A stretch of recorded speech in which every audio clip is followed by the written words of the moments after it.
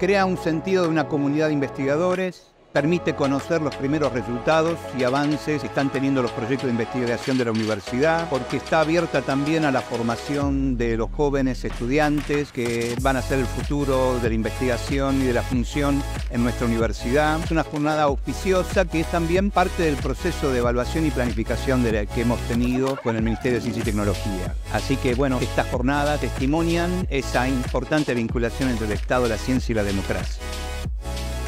generar este tipo de jornadas lo que estimula es a la participación en las áreas de investigación.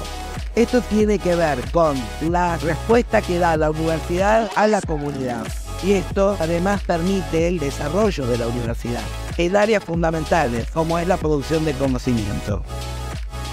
En este contexto de los 40 años de democracia, la universidad a través de la ciencia y la tecnología la investigación y el desarrollo puedan implementarse políticas de investigación que den respuestas a la sociedad y pensar cómo los jóvenes son los productos sociales de las nuevas generaciones y son el presente de la universidad y del territorio